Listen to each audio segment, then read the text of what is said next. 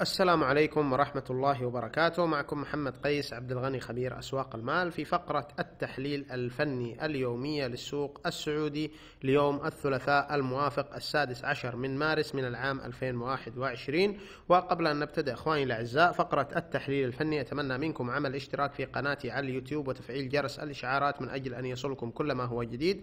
وأيضا لا تنسوا الاشتراك في قناة التليجرام الخاصة بتوصيات السوق السعودي والذي تجدون تفاصيل ورا رابط الاشتراك في صندوق الوصف وفي التعليقات. إذا أخواني الأعزاء نبتدأ فقرة التحليل الفني بتحليل المؤشر العام للسوق السعودي. تاسي ونلاحظ أن الأسعار قد نجحت بالتماسك والثبات أعلى مستويات 9600 نقطة واستمرارية الأسعار بالتداول أعلى مستويات 9600 نقطة. لا تزال تضع المؤشر العام في طور الإيجابية المفرطة والذي قد نشاهد بإذن الله تعالى اندفاع الأسعار نحو مستويات 9800 نقطة خلال التداولات القادمة. إذا أخواني الأعزاء ننتقل إلى تحليل سهم شركة أرامكو. ونلاحظ أن سهم أرامكو لا يزال يتداول بشكل آه، عرضي آه، ضيق. متذبذب منذ الجلسات السابقة ويحافظ على الأسعار. أعلى مستويات 35 ريال فاصلة 60 هللة واستمرارية الأسعار أعلى هذا الدعم يعزز من فرضية الانتقال إلى مستويات أعلى واستهداف مستويات 36 ريال فاصلة 25 هللة و37 ريال خلال التداولات القادمة. وبشرط وحيد وهو الحفاظ على الأسعار والاستمرار بالتداولات. أعلى مستويات 35 ريال فاصلة 60 هللة. إذا أخواني الأعزاء ننتقل إلى تحليل سهم شركة سيرا ونلاحظ أن الأسعار قد نجحت بمحاولة اختراق مستويات ال 19 ريال ولا تزال قيد المحاولة مثل ما لاحظنا في التداولات السابقة بعد أن هبطت الأسعار محاولة اكتساب العزم للصعود وحاليا في حال تمكنت الأسعار من اختراق مستويات 19 ريال والثبات أعلاها وفقا لقاعدة السلوك السعري. آه، من الممكن أن نشاهد اندفاع نحو مستويات 19 ريال ونصف و20 ريال خلال التداولات القادمة وبالمجمل وبشكل بشكل فني بحت لا يزال السهم يتداول في طور السيناريو الصاعد طوال ما أن الأسعار تتداول أعلى مستويات 18 ريال. ونصف. إذا أخواني الأعزاء ننتقل إلى تحليل سهم شركة سابك ونلاحظ أن سهم شركة سابك قد نجح بتحقيق الهدف الأول الماثل عند مستويات 112 ريال والذي تحدثنا عنه في التحليلات السابقة. وحتى اللحظة لا تزال الأسعار في في ظل السيناريو الصاعد وفي ظل الزخم الإيجابي الصاعد المتنامي. واستمرارية الأسعار أعلى المتوسط المتحرك لمدة 55 يوم وأعلى مستويات ال 109 ريالات. لا تزال تدعم الأسعار نحو اختراق مستويات 112 ريال والإقلاع نحو مستويات ال 114 ريال و 117 ريال خلال التداولات القادمة. وشرط تحقق هذا السيناريو هو اختراق مستويات ال 112 ريال والثبات أعلاها.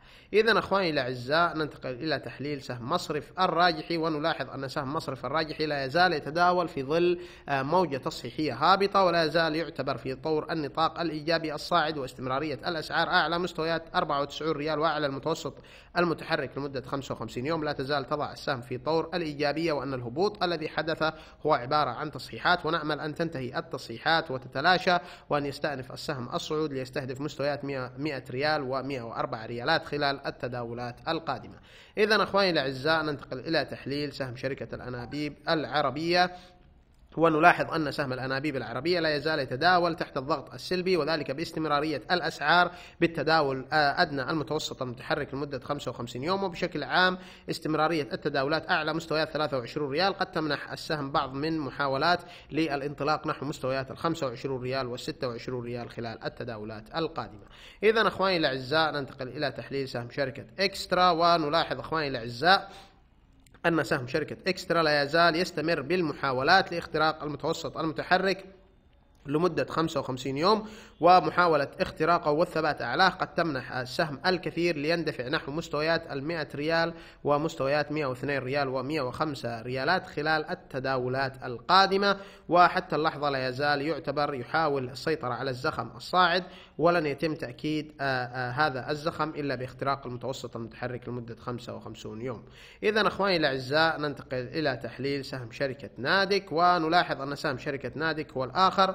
لا يزال يتداول تحت الضغط السلبي ولم يصل حتى اللحظة إلى استقبال إشارات تحفيزية للانطلاق نحو أهدافه الماثلة عند مستويات 33 ريال فاصل 20 هللة و35 ريال ولكن حتى اللحظة لا يزال يتلقى المزيد من الضغوط السلبية وذلك باستمرارية التداولات أدنى مستويات ال 32 ريال والذي من شأنها أن تضع السهم في طور التحركات العرضية بالقرب من مستويات الواحد وثلاثون ريال. إذا أخواني الأعزاء ننتقل إلى تحليل سهم شركة كيمانول. ونلاحظ أن سهم شركة كيمانول لا يزال يتداول في طور النطاق الإيجابي الصاعد. تداولاته لا تزال مستقرة أعلى الدعم الماثل عند مستويات 13 ريال فاصل 70 هللة. وهذه تضع السهم في طور الإيجابية الذي قد تبدأ بالانطلاق نحو مستويات 14 ريال ونصف و15 ريال خلال التداولات القادمة. وبشرط وحيد لتحقق هذا السيناريو هو ثبات الأسعار أعلى مستويات 13 ريال فاصلة 70 هللة. إذا أخواني الأعزاء ننتقل إلى تحليل آه، سهم آخر. وهو سهم شركة التصنيع ونلاحظ أن سهم التصنيع لا يزال يتسم بالإيجابية وذلك باستمرارية التداولات أعلى خط الاتجاه الصاعد وأعلى المتوسط المتحرك لمدة 55 يوم وقد نجح بتحقيق الهدف الماثل عند مستويات 15 ريال ونصف وحاليا لا يزال يحاول تأكيد هذا الاختراق والذي بدوره قد يمنح السهم الكثير وقد يمنحه الكثير من الإيجابية التي تستهدف مستويات 16 ريال و16 ريال ونصف خلال التداولات القادمة. إذا أخواني الأعزاء ننتقل إلى تحليل سهم شركة كيان السعودية ونلاحظ أن سهم كيان السعودية قد دخل في بعض من التصحيحات العنيفة نوعا ما وحاليا وبشكل فني بحت لا تزال الأسعار تتداول في ظل الإيجابية وأعلى المتوسط المتحرك وعلى خط الاتجاه الصاعد فكل هذه المؤشرات آه، لا تزال تضع السهم في طور الإيجابية وبشكل فني بحت استمرارية التداولات أعلى مستويات 15 ريال لا تزال آه، ترشح السهم لإنهاء التصحيحات والانطلاق مجددا نحو مستويات 16 ريال و16 ريال ونصف خلال التداولات القادمة. إذا أخواني الأعزاء ننتقل إلى تحليل سهم آه، شركة الكابلات ونلاحظ أن سهم الكابلات لا يزال آه، يقاتل بالقرب من مستويات الواحد وثلاثون ريال ونصف ويتحرك بشكل عرضي للجلسة الثالثة على التوالي وبشكل عام آه، لدينا مفتاح التداول هو مستوى واحد وثلاثين ريال ونصف. في حال تمكنت الأسعار من اختراقه والثبات أعلاه فحينها سوف تبدأ الأسعار باكتساب بعض من الإيجابية والانطلاق نحو مستويات 33 ريال و34 ريال. أما آه، الثبات أدنى مستويات 31 ريال ونصف. قد تكلف سهم الكابلات الكثير وتهوي به إلى مستويات 30 ريال و9 29 ريال.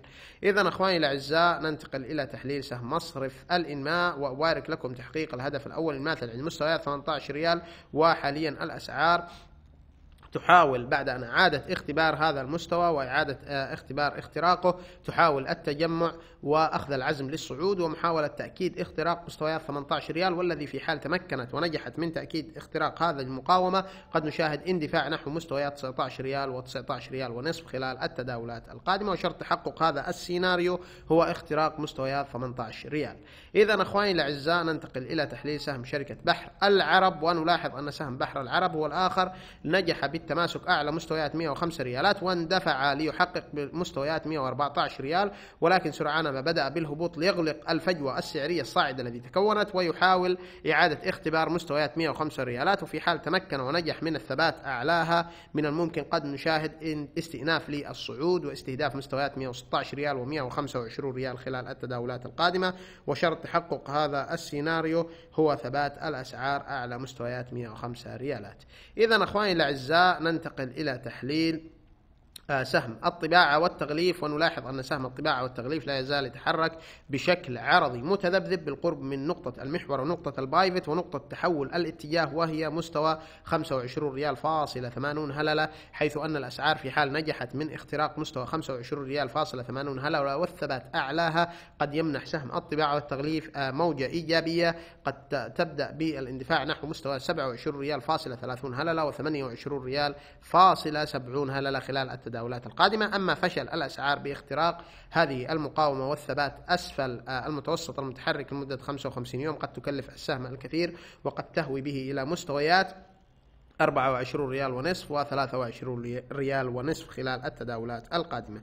إذا أخواني الأعزاء إلى هنا نكون قد انتهينا من فقرة التحليل الفني اليومية للسوق السعودي. لا تنسوا الاشتراك في قناة التوصيات الخاصة بسوق الأسهم السعودي آه، على قناتنا في التليجرام. تجدون روابط الانضمام في صندوق الوصف أسفل الفيديو. وأشكر لكم حسن المتابعة وتقبلوا مني طيب التحيات وفي أمان الله.